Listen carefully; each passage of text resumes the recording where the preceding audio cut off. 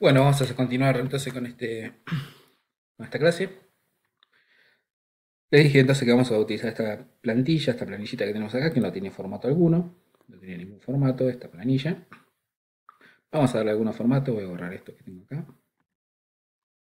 Borrar esto. Bueno, entonces si yo quisiera, entonces vamos, eh, esto que vendría a ser el encabezado de la, de la planilla, vamos a darle una, color de fondo, vamos a poner, ya que lo tenemos acá, ponemos el verde como color de fondo. Vamos a aumentarle un poquito el tamaño. Siempre seleccionamos lo que queremos hacer, ¿eh? seleccionamos y a esto le vamos a dar el tamaño. Vamos a dar un tamaño más, más grande, vamos a dar un tamaño 16 de título. Fíjense que eh, se me fue ya de la de las columnas, entonces ensanchamos la columna como lo mostré en la clase anterior, ensanchamos la columna para que entre bien el texto. Ensanchamos cada una, tomo el trabajito de ensanchar cada una. Ahí está, ahí quedó todo, cada una en su, en su tamaño. Lo que podemos hacer con estos números para que no nos queden tirados hacia la derecha, fíjense que el número está tirado hacia la derecha, Vamos a agarrar, seleccionamos todos los números, seleccionamos todos los números y los centramos. Agarramos, los centramos para que nos quede bien centradito. Los centramos, así eh, nos queda un poquito más visual. Si lo quieren, podemos eh, a estos mismos números también ponernos en negrita la verdad que no lo vamos a hacer. Lo que podemos poner en negrita son los nombres. Todos los nombres los podemos poner en negrita. Y también los vamos a centrar. Lo centramos ahí. Ahí ven que ya la, columna, la empieza a tomar un poquito más de forma. Eh, también podemos, eh, en vez de poner la letra en fondo negro, vamos a poner una color blanco y en negrita, un poquito más gruesa. Bárbaro. Vamos a dar una borde a toda la, a toda la, planilla, vamos a ponerle un borde, borde a todos. Y si yo pongo acá, si yo pongo solamente bordes externos, me va a hacer todo un contorno. No, selecciono todo, por eso no. Selecciono todo. Selecciono todo. Y ahora sí, tenemos un borde más, más que manda mal. Ah, porque acá teníamos el área de impresión, por eso no, no nos está saliendo. A ver, que he puesto el área de impresión. Diseño de página, área de impresión, se la vamos a sacar. Ahora sí tenemos el borde. El borde puesto. Le poníamos el borde externo entonces. Y ahora lo que vamos a hacer es ponerle borde, pero a toda, cada una de las celdas. Entonces usamos bordes, todos los bordes. Ahora si tenemos la planilla con todos los bordes. Acá por el área de impresión que aparece esta línea punteada, habría un borde más. Bien. Eh, ya tenemos todas las celdas con bordes. Vamos a agarrar entonces esta, a esta fila vamos a poner un color un poquito más grisáceo y a esta fila le vamos a poner color amarillo. Amarillo. Bárbaro. Fíjense que tenemos entonces fila. Yo quiero, ahora, ¿yo qué quiero hacer? Quiero hacer que esta planilla tenga todos eh, colores para poder verlo mejor. Fíjense que ahora vemos todo blanco.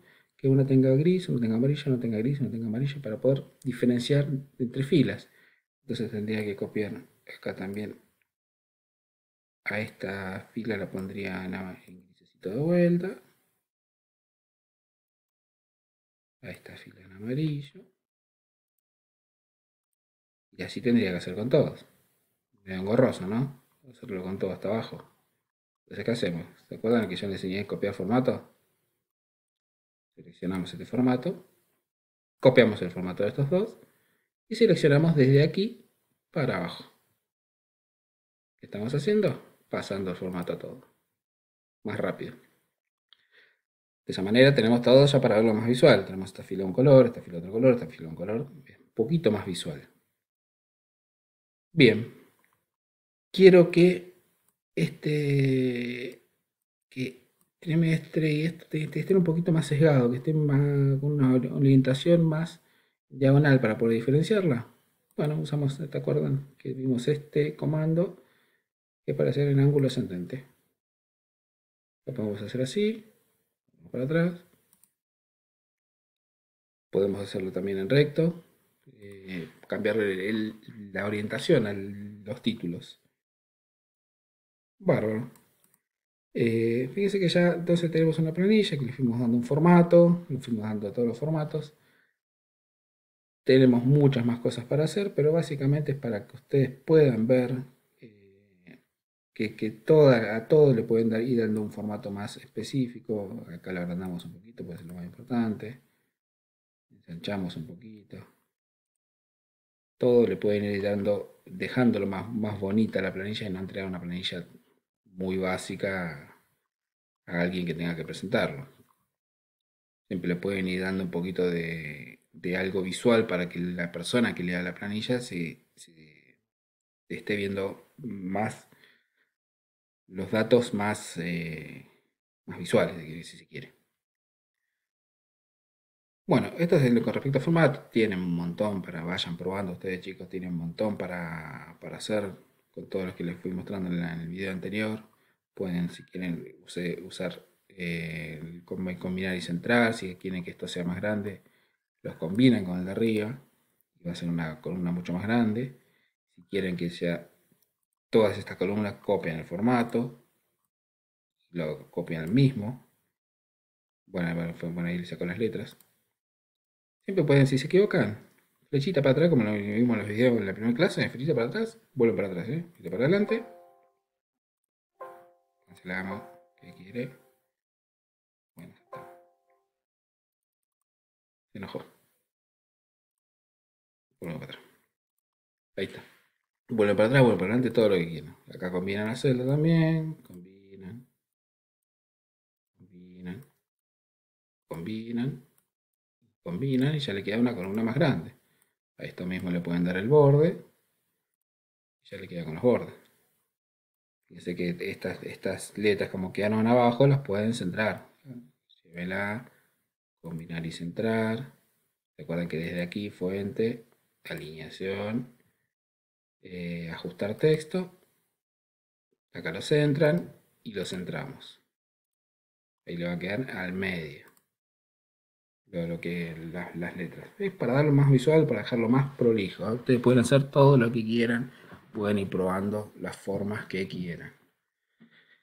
Eh, presten atención a todo esto que estamos haciendo porque el trabajito práctico que tienen que hacer es darle un formato a una planilla, que les voy a mandar también, esta misma planilla, que ustedes les den un formato, que la dejen más bonita. Otra de las cosas que una de las herramientas más importantes que vamos a usar es la función arrastre, la, función de arrastrar. Si ustedes separan una celda, fíjense que si yo me paro acá en esta celda, tengo la celda seleccionada y acá tengo un puntito. Si yo me paro en ese puntito, fíjense que el cursor cambia, se pone como más negro, ¿no? Esa es para la función arrastre. Es muy útil esta función y apréndansela bien porque la van a usar un montón. Arrastre lo que hace es copiar, continuar una secuencia para no tener que copiar datos repetitivamente. Si yo quiero arrastrar, entonces, fíjese que acá tengo lunes, martes, que sería miércoles, jueves, viernes, sábado, domingo. Yo que no quiero copiar todo, quiero hacer la secuencia. Entonces, ¿qué hago? Les doy los primeros dos, los primeros dos eh, comandos de la secuencia. O sea, si yo quiero hacer todos los días, voy a poner lunes y martes. Ya Excel va a reconocer que estamos en días. Voy a seleccionar los dos, selecciono, tengo el botón de izquierdo apretado para seleccionar y arrastro un poquito, selecciono y ahí me voy a parar en el, en el momento donde el cursor cambia. Ahí. Aprieto el botón izquierdo del mouse, lo mantengo apretado y arrastro para abajo. Arrastro, fíjense cómo va cambiando. Ahí lo que me va a hacer es copiar la secuencia. Lunes, martes, lunes, martes, lunes, martes, lunes, martes. Bien, volví para atrás. Borro el lunes. Lunes. Martes. Miércoles.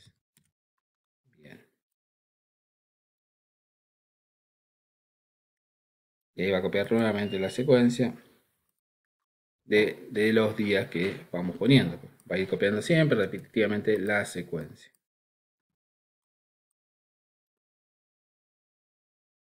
Fíjense que en este caso, si lo hacemos con números, bueno, acá me copié un formato, vamos a sacar el formato este, sin relleno. Tengo 15, 16. Si yo quisiera hacer 17, 18, 19, de dirección o la secuencia, me paro en, la, el, en el puntito negro y arrastro sería derecha, también funciona. Y ahí ya va siendo la secuencia, la secuencia 21, nos va sumando toda la secuencia. 21, 22, 23, 24, 25, 26, 27, 28, etc. La función arrastre es muy útil justamente para esto, para completar secuencias de datos. Cuando nosotros queremos completar toda una, secuencia, la vamos, eh, la seleccionamos y la arrastramos. La arrastramos para el lugar donde querramos. AB funciona con letras, el abecedario A, B. Vamos para abajo. AB, AB, AB, AB fuéramos hacia la izquierda, hacer A, B, A, B, A, B, A, B, A, B. Si no sería A, A, A. Copiamos toda la misma secuencia. Siempre va, a ir copiando lo que nosotros seleccionamos. Los números, en el caso de los números, va a continuar la secuencia de los números. lunes, martes.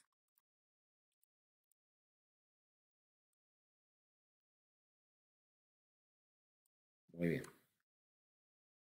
Bueno, esa es la función arrastre que también la vamos a utilizar mucho en esta, eh, lo, que es el avance del curso.